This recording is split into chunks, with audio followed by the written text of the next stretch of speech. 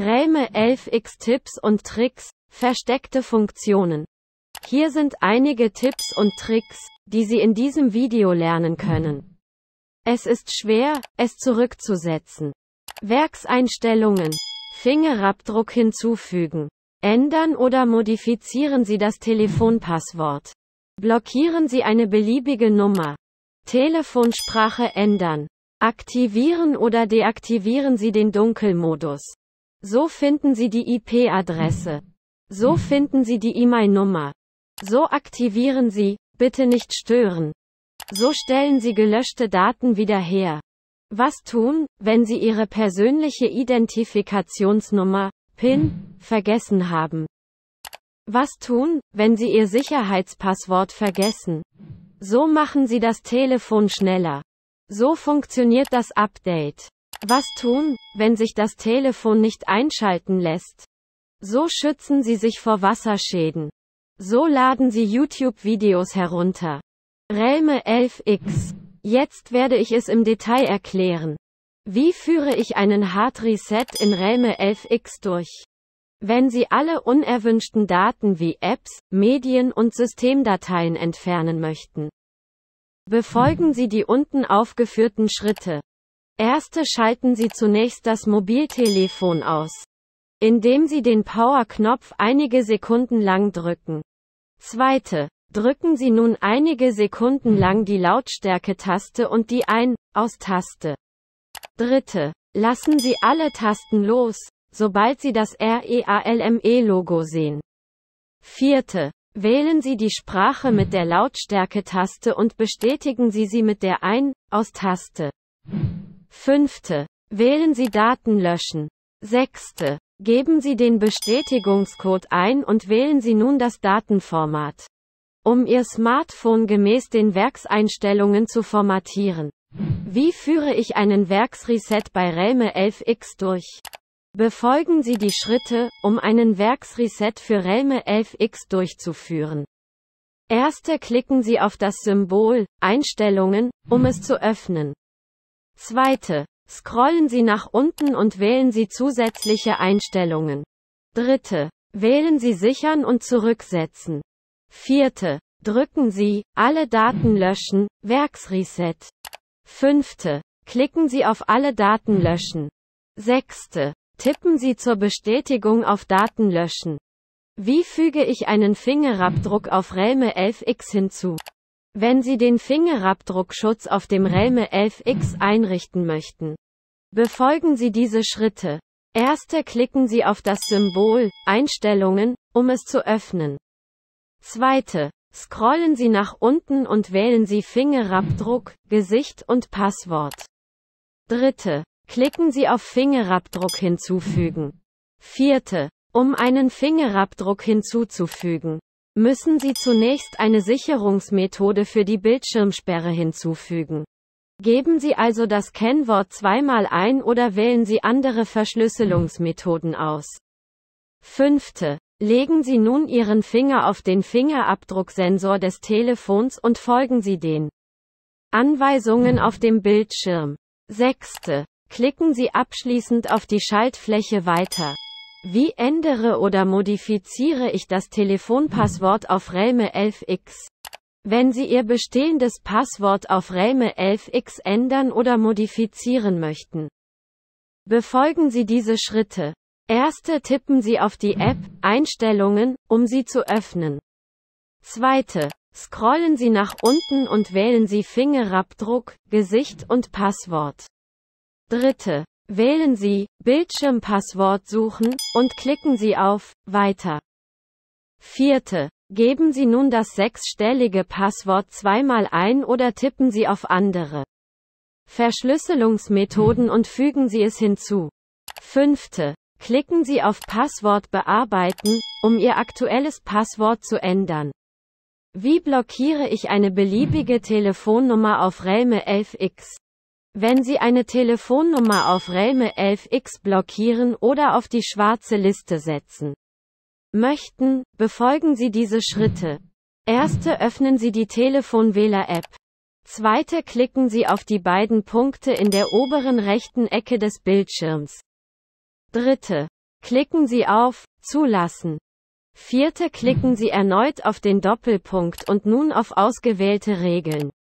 Fünfte. Wählen Sie nun Blacklist aus, indem Sie darauf klicken. OK klicken.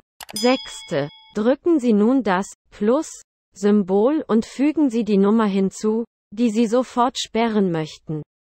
Siebte. Nachdem Sie Ihre Nummer eingegeben haben, klicken Sie auf Hinzufügen. Wie ändere ich die Sprache in Realme 11x? Wenn Sie Ihre aktuelle Sprache auf Realme 11x ändern möchten, befolgen Sie diese Schritte.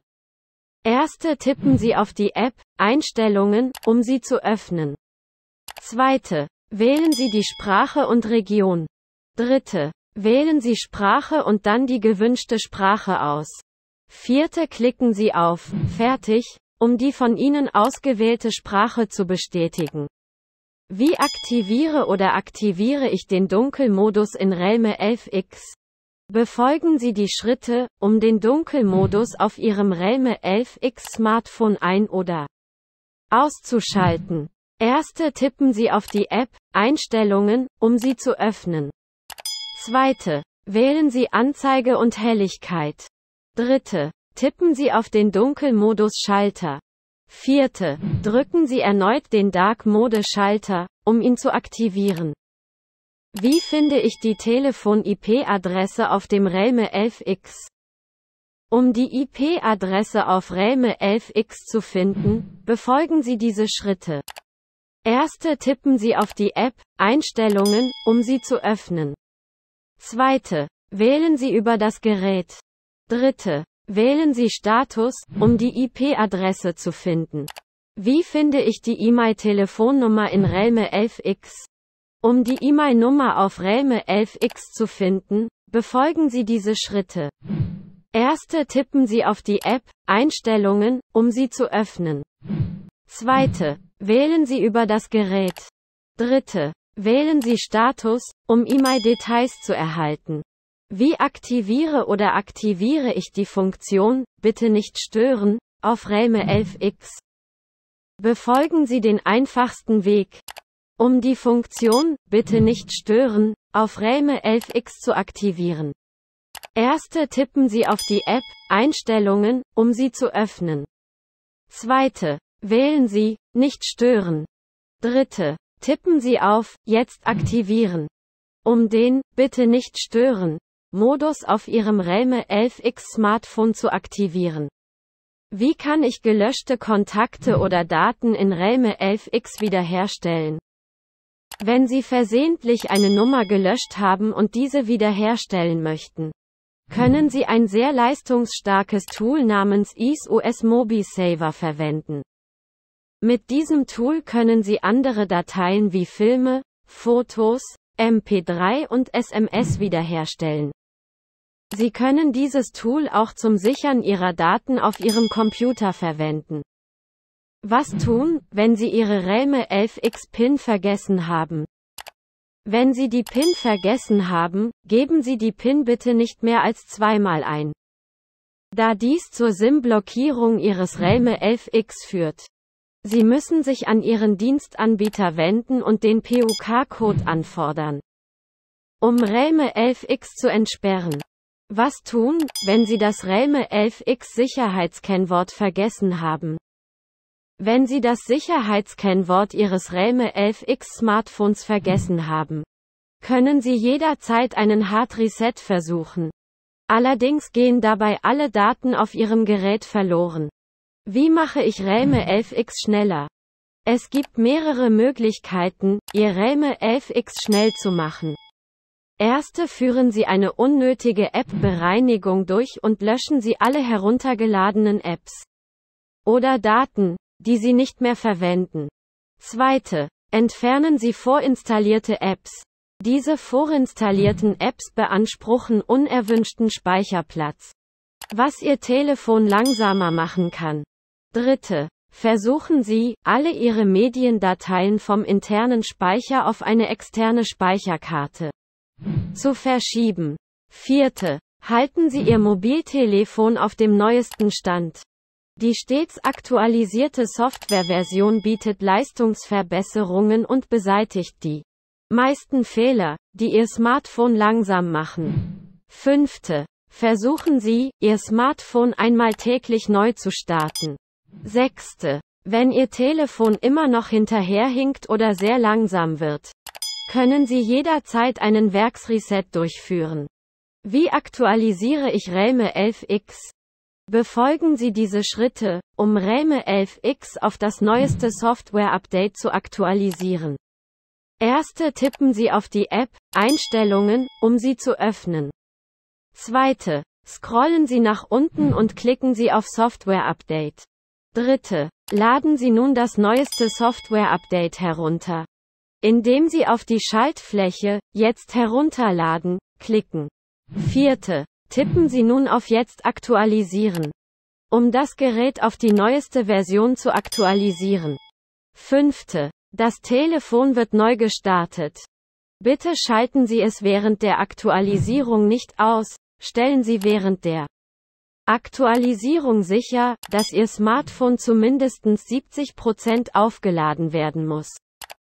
Was tun, wenn sich Realme 11X nicht einschalten lässt? Wenn sich Ihr Realme 11X nicht einschalten lässt, können Sie einige dieser Schritte ausprobieren. Erste schließen Sie Ihr Realme 11X zunächst an das Ladegerät und das Stromnetz an. Um auszuschließen, dass der Akku schwach ist.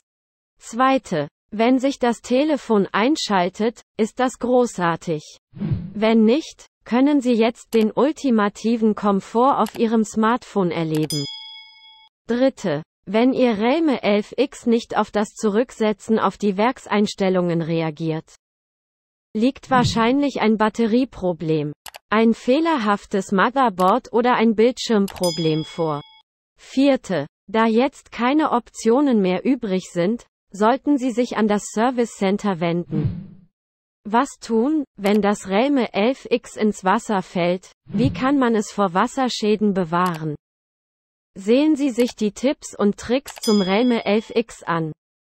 Um Ihr Smartphone vor Wasserschäden zu schützen, Erste. Wenn Ihr Realme 11X ins Wasser fällt und sich ausschaltet, versuchen Sie bitte nicht, es sofort einzuschalten, um zu überprüfen, ob es funktioniert oder nicht. Da dies zu einem internen Kurzschluss führen kann. Zweite. Bitte versuchen Sie nicht, Ihr Smartphone aufzuladen. Dritte. Versuchen Sie nicht, alle Tasten zu drücken, um zu sehen, ob sie funktionieren oder nicht. Vierte. Blasen Sie keine Luft in die Lade- oder Audioanschlüsse.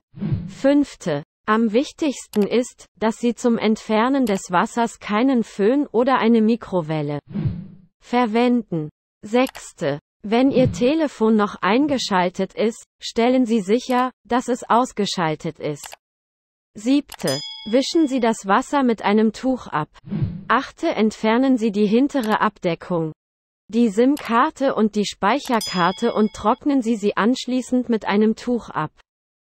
Neunte Nachdem Sie die hintere Abdeckung, die SIM-Karte und die Speicherkarte entfernt haben. Versuchen Sie, sie mit einem Staubsauger statt mit einem Haartrockner zu trocknen. Da das Vakuum eine umgekehrte Saugkraft erzeugt und verhindert, dass Wasser weiter eindringt. Zehnte. Sobald Sie sicher sind, dass das Wasser entfernt wurde, bewahren Sie das Mobiltelefon mindestens zwei Tage lang in einem Beutel mit ungekochtem Reis auf. Anstelle von ungekochtem Reis können Sie auch Kieselsäurebeutel verwenden. Elfte nehmen Sie das Mobiltelefon nach zwei Tagen heraus und prüfen Sie, ob noch Feuchtigkeit vorhanden ist, nachdem Sie sichergestellt haben, dass Sie Ihr Smartphone jetzt bedienen können. Wie lade ich YouTube-Videos auf Realme 11X herunter? Um YouTube-Videos auf Realme 11X herunterzuladen, müssen Sie eine Drittanbieter-App namens TubeMate herunterladen.